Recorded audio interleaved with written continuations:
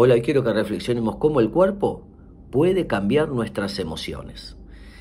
Leí recientemente dos investigaciones muy interesantes que se hicieron en los Estados Unidos. A la primera le pidieron a dos grupos de personas, tenían que resolver una dificultad, pero la primera tenían que resolverlo con el ceño fruncido, mientras que el segundo grupo tenía que resolverlo sonriendo. Luego de varios minutos les pidieron la evaluación. Y los que tenían el ceño fruncido dijeron que les costó más, que tuvieron que esforzarse más del grupo que dijeron que le fue mucho más fácil, estaban sonriendo. Qué interesante. El segundo grupo le pidieron resolver un problema de matemáticas. Tenían que estar sentados de manera recta, pecho afuera y resolverlo, mientras que los otros tenían que resolverlo tirados, relajados, abandonados en la silla.